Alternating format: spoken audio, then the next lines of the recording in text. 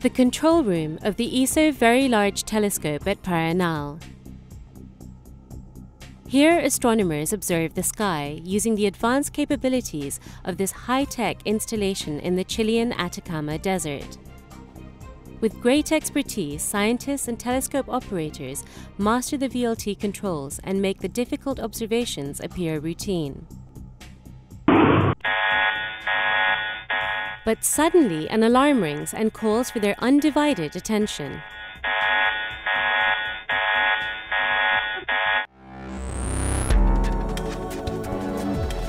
This is the ESOcast, cutting edge science and life behind the scenes of ESO, the European Southern Observatory.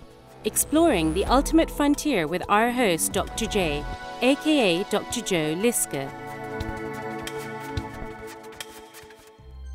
Hello and welcome to the ESOcast.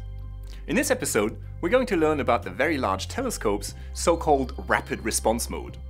The point of this observing mode is to study gamma ray bursts only a few short minutes after they are first spotted.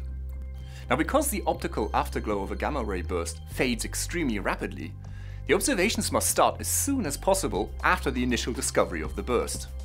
And the VLT can deal with such time-critical observations better than any other telescope. Gamma ray bursts are the most powerful explosions in the universe. Astronomers do not fully understand their origin, but they are thought to be caused by incredibly energetic events such as the collapse of massive stars. Gamma ray bursts are so energetic that for a brief instant they outshine the rest of their entire galaxy.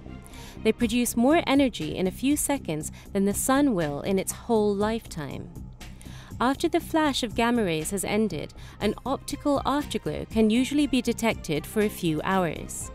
Astronomers look at this to learn more about how and why gamma ray bursts occur. Because gamma ray bursts typically occur at a very large distance from Earth, their afterglow is faint.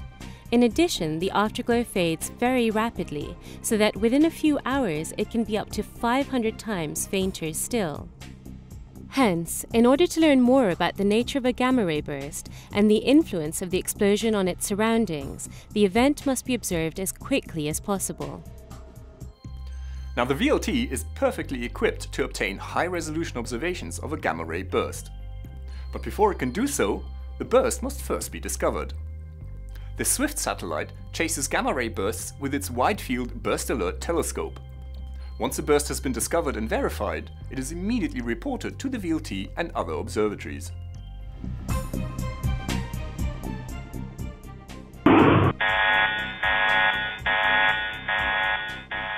An alarm at the VLT console indicates to the astronomers that the activation of the rapid response mode has been requested.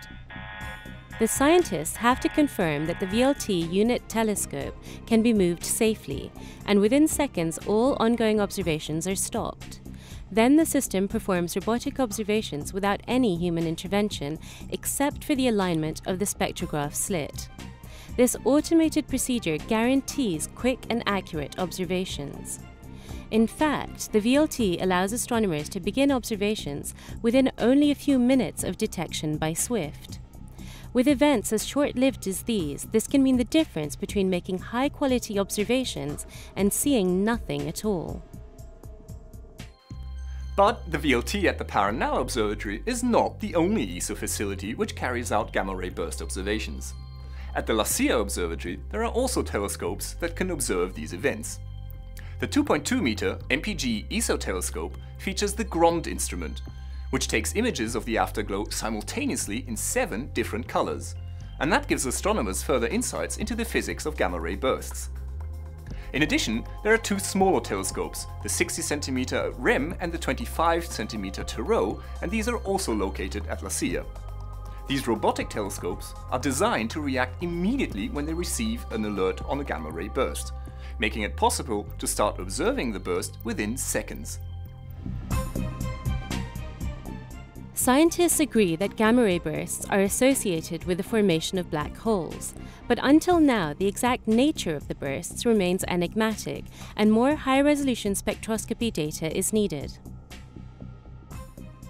The VLT offers enormous light collecting power and high resolution.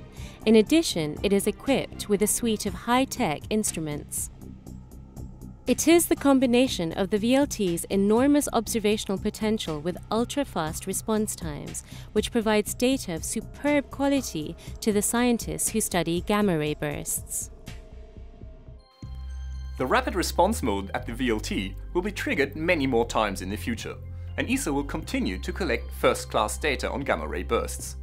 Data which will perhaps one day help to unravel the secrets of the most energetic explosions in the universe. This is Dr. J, signing off for the ESOcast. Join me again next time for another cosmic adventure.